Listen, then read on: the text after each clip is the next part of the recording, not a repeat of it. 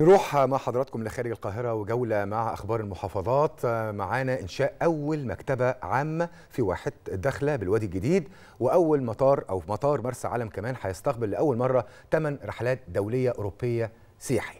كمان في محافظة الغربية آه تم استفادة 135 ألف أسرة من برنامج تكافل وكرامة في محافظة الغربية وتوريد 68597 طن قمح لصوامع والشون الأليوبية وحصاد 25 ألف فدان.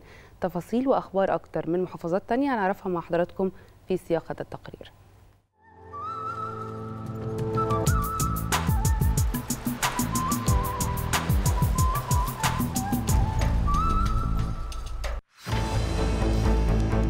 محافظات مصر شهدت مجموعة من الأحداث المهمة. أبرزها أن إدارة مطار برج العرب الدولي في الإسكندرية أعلنت عن تسيير خطوط أتوبيسات نقل عام من وإلى المطار ومحطة الرمل وده للتيسير على المواطنين والركاب.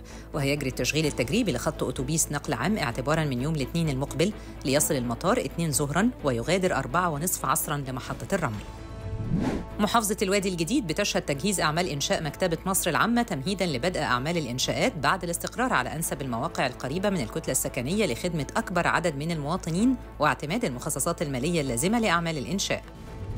مطار مرسى علم الدولي استقبل 8 رحلات طيران دولية أوروبية ضمن 162 رحلة طيران استقبلها المطار خلال الأسبوع مع تطبيق الإجراءات الأمنية والوقائية على الوافدين فور وصولهم أرض المهبط. وتبين من كشوف الرحلات المقرر وصولها 8 رحلات طيران بينها أربع رحلات من التشيك ورحلتين من ألمانيا ورحلة من بولندا ورحلة داخلية. مديرية التضامن الاجتماعي بمحافظة الغربية كشفت أن هناك 135 ألف أسرة مستفيدة ضمن برنامج تكافل وكرامة على مستوى المحافظة وبيتم التقديم للحصول على معاش تكافل وكرامة من خلال ال system الخاص اللي وضعته الوزارة واللي بيضم عدة معايير واشتراطات يجب توفرها لدى الأسرة المتقدمة للحصول على المعاش. وعقب التقديم بيتم فحص الطلبات وفي حال عدم توفرها بيتم الاستبعاد فوراً. محافظة الأليوبية أعلنت انتظام عملية توريد محصول القمح لصوامع وشون وبناكر المحافظة. وبلغ إجمالي ما تم توريده حتى الآن 68597 طن من القمح للصوامع والشون والبناكر وسط متابعات يومية ومستمرة على أرض الواقع للاطمئنان على انتظام عملية التوريد وتقديم الدعم والتسهيلات اللازمة أمام المزارعين. في سماء الأقصر حلقت 40 رحلة بالون طائر أقلت على متنها 1200 سائح من مختلف الجنسيات الأجنبية والعربية والمصرية من زائري المدينة. وانطلقت رحلات البالون الطائر تباعا في مجموعات مع اللحظات الأولى لشروق الشمس من أرض مطار البالون الطائر بغرب مدينة الأقصر. واستمتع السائحون من على ارتفاعات وصلت ل 1500 قدم من سطح الأرض بأجواء الأقصر الطبيعية الخلابة.